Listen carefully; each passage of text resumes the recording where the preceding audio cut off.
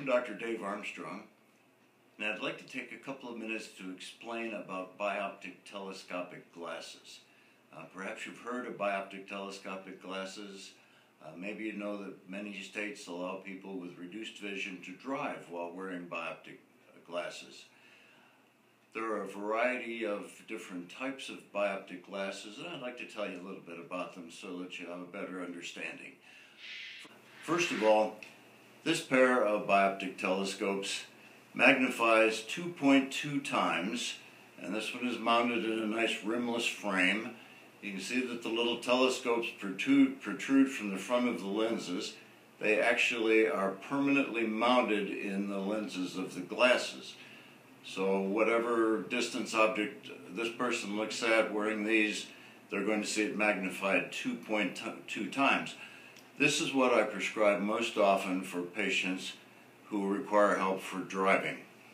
Now some people they require more than uh, that 2.2 magnifications and in that case we use something stronger. This example is a pair of uh, bioptic telescopes that magnify three times. And you can see that the telescopes are certainly a lot bigger uh, there's two reasons for that. One of them is the increased magnification. The other is that this is a wide angle telescope.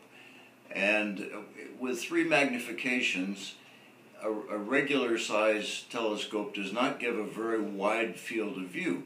So this gives a much wider field of view, making it uh, more usable and uh, easier for the person to use for something like driving. I'll explain that the person's prescription is not only in the telescopes, but it's also in the large lens of, in the glasses. That we call it the carrier lens. So whether they're looking through the telescopes or they're looking through the carrier lens, they're looking through their normal eyeglass prescription. Some people require more than three magnifications, and this pair of bioptic telescopes magnifies four times. This is a very nice telescope that has one additional feature that the others don't. This one is actually focusable. You can turn the uh, lens of the telescope and focus it from something at a great distance, down the road for example, to something up close like the, someone else's face that you might be talking to. So this is more um, versatile than the others and stronger many states allow people to drive with four times magnification. So now you have a little better understanding of bioptic telescopic glasses.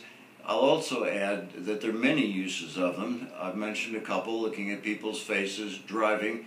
They're wonderful for watching uh, sporting events or live theater. Uh, many of my patients uh, love to go watch their grandchildren uh, play soccer or baseball, and these are very helpful.